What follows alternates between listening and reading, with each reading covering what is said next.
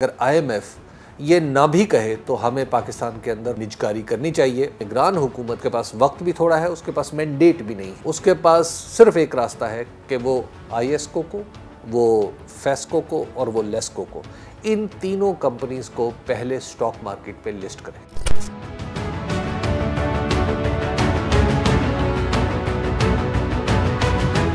जहाँ तक आईएमएफ की तरफ़ से पाकिस्तान के अंदर निजकारी यानी प्राइवेटाइजेशन का मुतालबा किया जाता है तो ये बहुत ही जायज़ है और माकूल है।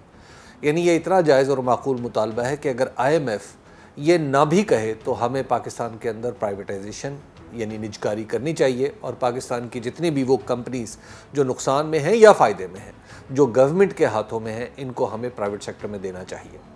अब यहाँ पर सवाल पैदा ये होता है कि क्या उठा के सारी कंपनीज़ जो है, हम किसी को बुला के अपने किसी दोस्त को उसको दे दें? ऐसा नहीं हो सकता।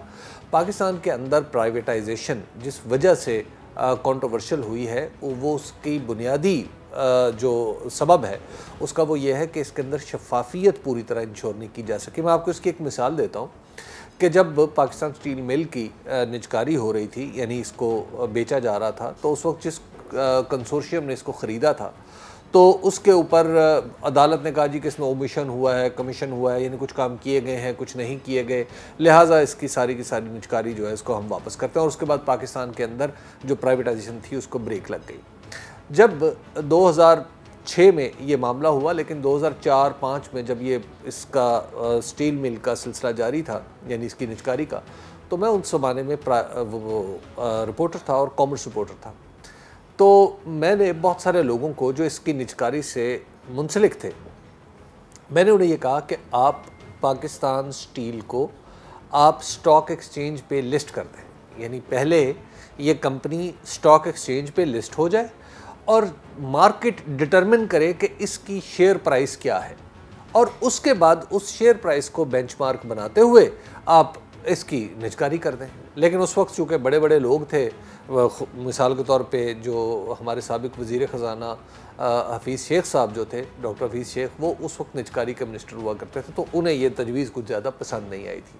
तो नतीजा वही निकला जो हम सब एक्सपेक्ट कर रहे थे कि अल्टीमेटली ये इसके ऊपर सवालिया निशान उठेंगे और बहुत सारे लोग ये कहेंगे कि ये इसके अंदर कहीं करप्शन हुई है। तो आज भी अगर निजकारी करनी है तो निजकारी ख़ास तौर पर बिजली की कंपनीज़ हैं। मिसाल के तौर पे फेस्को है लेस्को है आईएसको है पेस्को है, यानी पिशावर इलेक्ट्रिक सप्लाई कंपनी है। बहुत सारी सैपको है, सिंध में, यानी सखर जो की जो कंपनी है, वहाँ पर जो बिजली प्रोवाइड करती है। ये जितनी भी डिस्कोज हैं, सबसे पहला काम तो ये करना चाहिए कि इन सबको, कोशिश ये करनी चाहिए कि इनको स्टॉक मार्केट पे लिस्ट कर दें।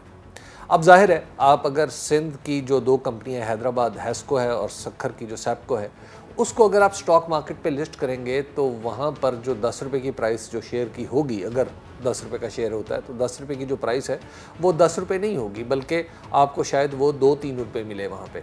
लेकिन उससे आपको अंदाज़ा हो जाएगा कि दरअसल हम किस जगह खड़े हैं। इसी तरह आई को है, फेस्को है, मैपको है या लेस्को है इन सबको भी आप स्टॉक मार्केट पे लिस्ट कर दें। जब स्टॉक मार्केट पे लिस्ट करेंगे तो वहाँ पर शेयर की, रोज़ाना की बुनियाद पे उसकी कीमत सामने आती रहेगी।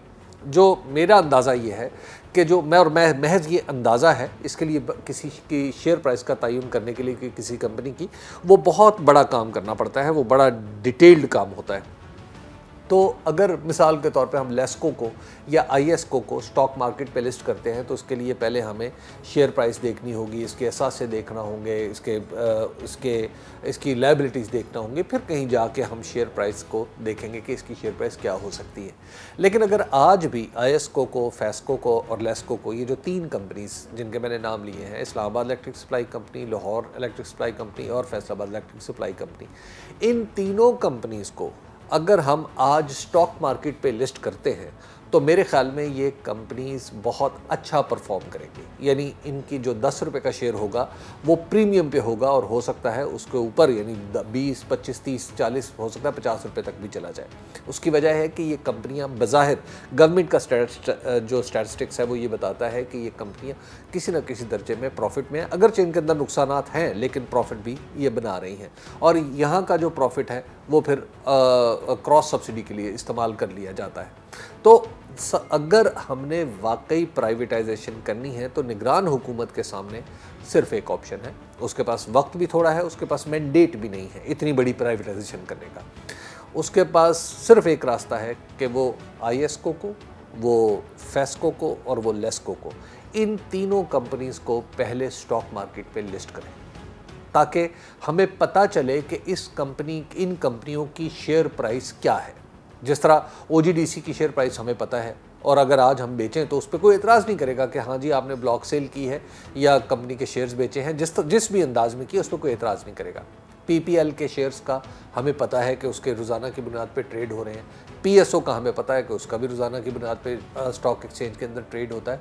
लेकिन जब आईएसको फेस्को और लेस्को ये जो कंपनी है, जिनके बारे में एक तासुर है कि ये ये प्रॉफिटेबल कंपनियाँ हैं तो फिर हमें पता होना चाहिए कि इनकी शेयर प्राइस क्या है और क्योंकि ये किसी की ज़ाती तो नहीं है अनवारुल्ला काकड़ साहब जो हमारे निगरान वजी अजम है, उनकी कोई ज़ाती कंपनी तो है नहीं।